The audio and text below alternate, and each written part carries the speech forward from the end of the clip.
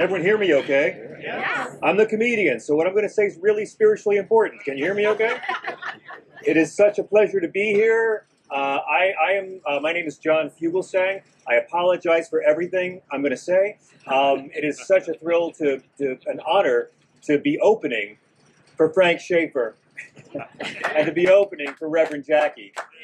I've opened for a lot of big talents in my life, but these two people are heroes of mine. They've both been multiple guests on my Sirius XM show. To me, they perform elegantly one of the greatest uh, superpowers that is so needed in our political and moral landscape in America, and that is they have the ability to thump Bible thumpers with the actual Bible. Um, by the way, you don't need to believe in the Bible as literal fact to do this. Atheists, I love my atheists. I believe in you. Uh, atheists can use the Bible against fundamentalist hypocrisy just as well as believers because we're about forming coalitions trying to help other people. And that's why it's kind of uh, amazing to be doing this in a year where we learned um, that for the first time, U.S. membership at houses of worship has dipped below 50%. This year, for the first time, 47% of Americans say they go to a church, go to a synagogue, go to a mosque. And that's, that's not because God or Jesus screwed up. Um, you know, that's because of the hypocrisy of certain kinds of religious people. Amen. Certain kinds of men in funny hats and dresses. And, you know, they, they, they say the largest growing religious group in America right now are Mormons. Allow me to disagree. The largest growing religious group in America right now, I would argue, are people who were raised religious but now consider themselves spiritual. Amen. They still have the yearning, but they're turned off by the hypocrisy by certain people who might be children of Jerry Falwell. And um, Frank and Jackie consistently remind us that Christ, who this religion is supposed to be about, should not be confused with his many unauthorized fundamentalist fan clubs. Uh, historically, white supremacists of both political parties have used Christianity to justify the slaughter of indigenous peoples, the labor exploitation of Africans, of Chinese workers. Uh, they've used the Bible to turn a blind eye to the suffering of European Jews and to the indefinite detention and torture of Muslims. Uh, they're also the people who call the Christian refugees at our southern border illegals. But consistently, liberal Christians have been the ones to stand up against what the fundamentalists have been doing from the very beginning of the Americas as we know it. When Columbus first came here and began brutally subjugating the people, which he did because he felt he was being such a good Christian, it was Father Bartolomeo de las Casas, the priest on his boat, who wrote a letter of protest back to the Queen over the atrocities Columbus was committing. It's, it's very important to remember the first act of protest against human rights abuses by a European in this hemisphere was a Catholic priest. And that tradition carries on through Martin Luther King, through Dorothy Day, through Bishop John Shelby Spong, who we just lost, through Sister Helen Prejean. Reverend Jackie and Mr. Schaefer are people who carry on that tradition, using this man, we all agree the religion is based on, to call the destructive hypocrites into the light. But I'm a comedian.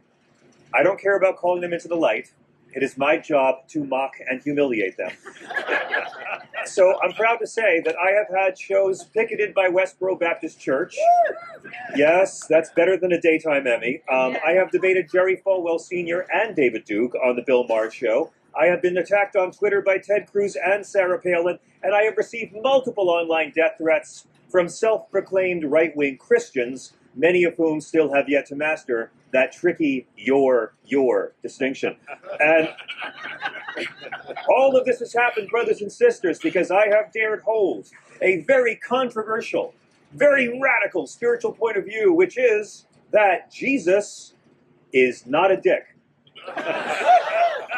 That's it. Now, I had a very Catholic child. I had an extremely Catholic. I had a very Catholic childhood. My, my we, we used to have open casket reunions in my family. Um, some of you may know my mother was a nun for 16 years before she was married. Obviously, my mom came from the South. The convent put her through nursing school, and she went to Africa to work with lepers in the jungles of Malawi. My father was a Franciscan brother from Brooklyn, He wore the brown robes and the rope belt, and he taught history to Catholic boys, and he walked amongst the people like the lost Jedi Knight of Flatbush. My father, the brother, met my mother, the sister, fell madly in love, even though he had promised God he would never fall in love. Eventually, after 10 years, he got her to leave the convent. They settled on the Isle of Long and tried to raise us to be progressive, free thinking Catholics, which is why I do stand up, because I can never afford the therapy I so deeply require. So, I just want to say, like, I, I, I grew up admiring Jesus the way any guy admires mom's first husband. But I have come to believe, and I mean no disrespect to the faithful, but I have come to view Jesus in much the way I've come to view Elvis. I love the guy, but a lot of his fan clubs terrify me. And we live in a time when fundamentalist right wing Christians control the narrative, and they believe in worshiping Jesus as a God because that's a lot easier than following his extremely liberal teachings. We live in a time when politicians try to get the abortion rate to go down by making it harder for poor women to get access to birth control. We live in a time when bless your heart has become a euphemism for screw you. It has. I, I don't know how, but American Christians made bless your heart, fuck you, the same thing. We live in a time when American fundamentalist Christians believe a talking snake is absolute literal fact, but love your enemies that's just Jesus being all metaphorical and shit. Um, here, here, this is what I kind of do. Like, these people are the real deal. I'm a, I'm a vulgar vaudevillian. These people are the real deal, but this is the sort of thing I do. At your next family gathering, when you have Uncle Racist over in the corner in the red hat, uh, and he's talking about how uh, the talking snake is literal. Uh, the Genesis is literal fact. You could do, you know, what I used to do and say, but what does Genesis, what does the talking snake have to do with Christ? It's spiritually insignificant, but that's not going to get to him. So try this sometime. Um, ask him, well, if you believe in Genesis as literal fact, which version of Genesis? Because in Genesis chapter 1, God creates man and woman at the same time, but in Genesis chapter 2, he creates man first, and then could not find Adam a suitable mate and by the way, let me tell you, as a child, that passage confused me very much. I mean, what were these ceremonies like? Who got the rose in the garden? I mean, what was Adam trying out as a mate? Ferrets and trees? I mean, it's, you know, kid, you think about these things. So finally, God exhausted every other mammal and decided to create a mate and pulled Adam's rib while he slept and fashioned it into the first woman, which became Eve. So ask your fundamentalist loved one, which one do you believe? They can't both be true. Were they created together, man and woman? Or was man here first and then woman came from his rib? And I guarantee you, nine times out of ten, your uncle racist will say, I believe that the man, man was here first and then God took his rib and made the first woman. And that's when you say, oh, so what you're saying is you believe the first ever woman transitioned from a man.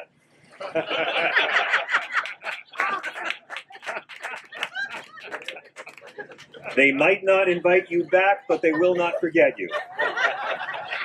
So in 2016, our conservative evangelical brothers and sisters elected a spray tanned hybrid of Caligula, Barabbas, and the Golden Calf.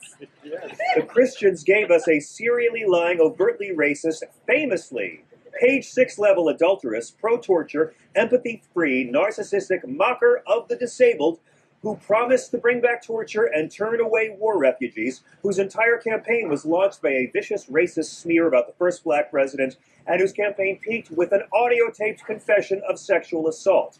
Donald Trump has now become Jesus to certain followers of Jesus who don't much care for the actual teachings of Jesus. And to which, this is what we're up against. This is why I'm not surprised when Christianity has become an atheist factory in our society. Indiana passes the religious freedom law, which essentially legalizes discrimination against LGBT tax-paying citizens, uh, delighting homophobic Christians who haven't realized that Christ was not a homophobe.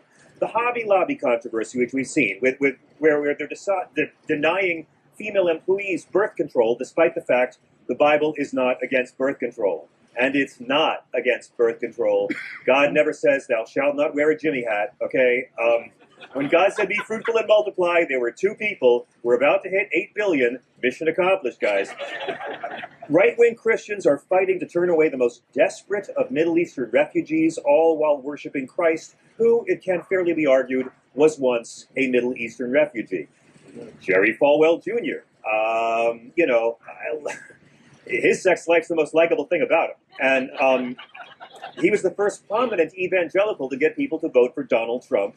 And now he's been sued for $10 million by Liberty University. The school founded by his father, Jerry Falwell Sr., advisor to multiple presidents, who was a segregationist, who built whites only schools and supported apartheid. This is what passes for Christianity in our culture. You watch TV, and what do you see? Atheists and imbeciles. You see non believers, and then you see cretins screaming at women outside clinics. Those aren't the Christians I grew up around. But we all know nobody hates like a Christian who's just been told their hate isn't Christian. Now, we're, we're never going to get there with hate. And Frank and Jackie have reminded me many times that we have to fight for these people. We can't hate them back. So, to help you understand briefly, um, I would like to do my part to help everyone understand our right wing Christian brothers and sisters. I, I brought along uh, a little list. These are the top 10 commandments of right wing Jesus. These are things you have to believe to be a right wing Christian in America. Number 10, thou shalt pretend the Bible is against abortion. Right? It's accepted. Except y'all have read the book. You know, in Genesis, God says life begins with first breath. In Exodus, God makes it clear he assigns more value to a woman's life than a fetus. Uh, in uh, God, one time uh, drowned every fetus on earth one day with a flood because he felt like it. Um, and if you really think that God is very against killing children, let me tell you, Gentile, about Passover. Um, God gives abortion tips for unfaithful pregnant wives in Numbers chapter 5. I'm not saying the Bible's pro abortion, I'm saying that they've been suckered into prioritizing something Jesus never mentions over everything Jesus taught. America has become a place where followers of Jesus vote against everything Jesus ever talked about because of abortion, which Jesus never talked about. Jesus was against the death penalty, which leads to number nine thou shalt ignore Jesus on the death penalty. Um, if you're a right wing Christian, you already know. Forgive us our trespasses as we lethally inject those who trespass against us. That's the racket. Jesus overturns eye for an eye in Sermon on the Mount. He says you have to forgive those who wrong you 70 times 7. He stops an execution and says only sinless people can carry them out. And by the way, you guys know if there was no death penalty, Jesus might still be here. Number 8, thou shalt pretend Jesus hates immigrants as much as you. How did this happen? Why are our Christians protesting the refugees and not there on the border with blankets and water, like Christ would be? There's no laws about borders in the Bible. There's no laws about immigration in the Bible. These people they call illegals are people I call Christian refugees.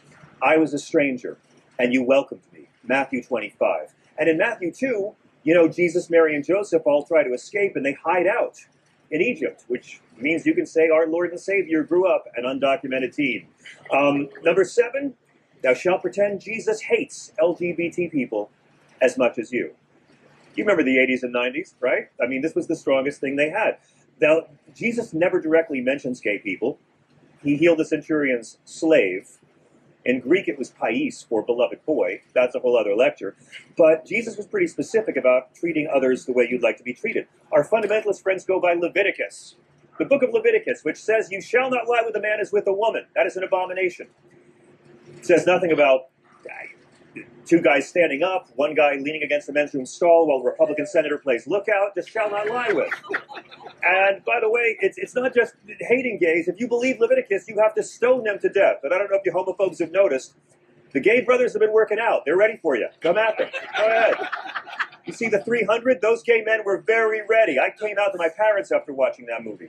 Um, you can't be a homophobe and be a Christian. It's really, really simple. Uh, oh, but if you really want to believe in Leviticus, you really want to believe Leviticus matters more than Jesus, then you've got to follow every law of Leviticus, which means you also have to have the death penalty for children who are gluttons or drunks. Bye bye, Don Jr. Um, anybody who works on the Sabbath, that's Saturday, so long NASCAR. Anyone who cuts their hair at the temples or tattoos the flesh. And I sure am going to miss the U.S. Marine Corps and half the bands I like. And adultery.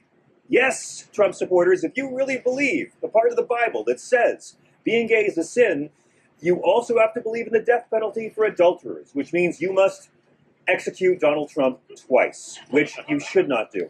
Um, coincidentally, the Bible does have one passage against men with men, but nothing about women with women. And I find it a bit telling that the Almighty and Vivid Video have the same exact policy. Um, number six, thou shalt believe all that prosperity gospel garbage, right? Right? I mean, am I the only one sick of the prosperity gospel? I love preachers with good taste in hair gel, but come on. I mean, like, like Jesus said, pay your taxes.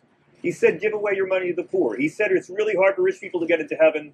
He was obviously paid to be a crisis actor by George Soros. Uh, number five, thou shalt not let your tax dollars pay for some lazy person's health care. This is the era of prayer against care, where we see Christians fighting to make sure the least of us are not protected. All these hospitals have saints' names because that was Jesus' marching orders. In Matthew 25, the parable of the goats and the sheep, he says he will assemble the individuals and the nations and ask them, Have you taken care of the poor, taken care of the sick, been kind to those in prison? It's right there. Israel has four different kinds of public options and uh, free abortions. Just putting it out there. I mean, Obamacare is not a blueprint for socialism. You're thinking of the New Testament. Number four, Number four is one of my favorites. Uh, Thou shalt bear false witness. If you are a follower of right wing Jesus, you can lie all you want. Obama wasn't really born here. We, Trump had the largest inaugural crowd of all time. Joe Biden stole the 2020 election. I mean, this is just the golden age of bearing false witness, and it's okay because I put up a Christmas tree in my house once a year, so I'm on God's side. Like, and we got to call out our own side as well. And I'm fair about this. I will call out liberals who lie about our conservative brothers and sisters. Like when they say Donald Trump said to drink bleach. That's a vicious lie. And it's stupid. He never said that. He said inject disinfectant, okay? Let's be honest, liberals. Don't, li- don't lie about their lies. You don't need to. Um, number three, if you're a follower of right wing Jesus, thou shalt crap on the marginalized. How do we get to this place?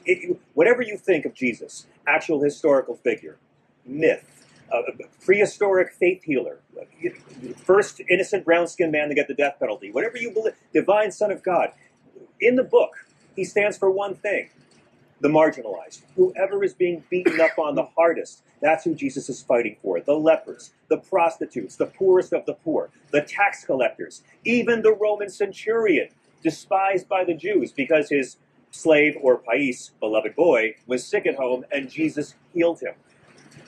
If you're a Trump Pence Christian, it's the exact opposite.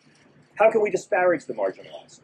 The desperate Christian refugees at our border, poor people on SNAP benefits, trans kids who want to use a bathroom they feel comfortable with, transgender soldiers who would like to serve a country despite the fact that it despises them.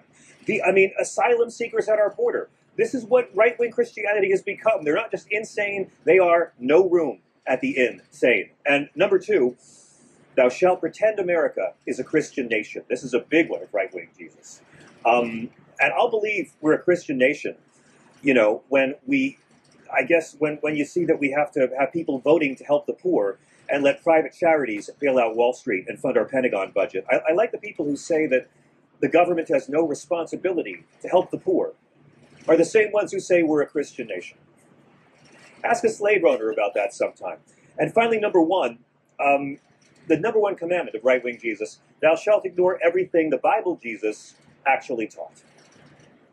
That's why I'm honored to be in a group like this. That's why I'm honored to speak to y'all, to be in front of these two bodhisattvas of Christianity. I just made that up, but it's true. I mean, uh, you know, Jesus is someone who I vote for every year for elections, I write in Jesus. I like to do it for president all the time. Uh, because think about it, wouldn't, wouldn't it be great to vote for Jesus? Yeah. Wouldn't your hardcore right wing loved ones or that guy on Facebook you knew in high school who claims to be Christian, wouldn't they love to just get rid of the middleman and vote for Jesus?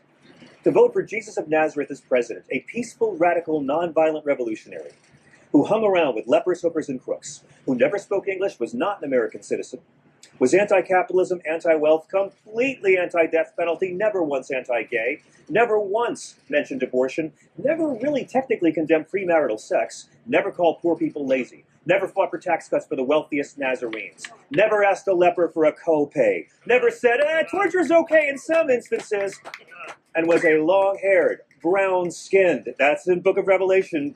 Bugger off, left behind books. Brown skinned, homeless, community organizing, anti slut shaming, unarmed, Palestinian, liberal Jew. Yeah. But of course, that's only if you believe what's actually in the Bible. And, you know, the Bible's a lot like the Mueller report. Uh, it's impossible to support Donald Trump if you've read the second half of it. I'm not afraid of people who hijack airplanes. I'm afraid of the people who hijack my parents' faith. I'm afraid of the people who hijack religion. Christianity was supposed to be a sanctuary city. And by the way, the only thing Donald Trump and Jesus have in common, they both hung out with hookers and they both use ghostwriters. That's it. I mean, that's all I have, right, Reverend? I mean, at a time when Christianity is becoming synonymous with hatred of immigrants, denial of science, indifference to the suffering of the poor, contempt for women, rejecting those in need, it's more important than ever to have events like this, to support events like this, and remind the Christians that these positions aren't Christian. We have to, with love, take away their rubbish claims of piety. I'm tired of them speaking for a movement based on love and compassion. Christianity is the sanctuary city. It's supposed to be about love. And this struggle against the forces of hypocrisy and meanness will not be fought and won by politicians. It will be done by ordinary people like y'all, and it's going to be done at their jobs, over the family dinner table, and yes, over social media. It sucks not being able to hate them back, but we don't get to hate them back. My father was before he died, he, he, he said something I never forgot. He said to me, my father, the brother, he said, There's two things God can't do. He can't stop loving you, and he can't stop forgiving you. That's my religion.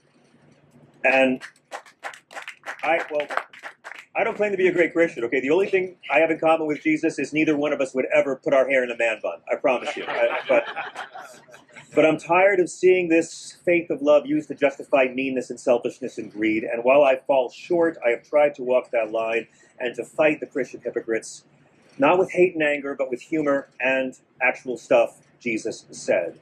So I'm deeply honored and humbled to be here amongst all of you and amongst these two people because here's the deal. If you're going to fight hate, if you're really going to fight hate, don't whine if you get a little on you. Just wash it off before it sticks. But thank you so much for being here.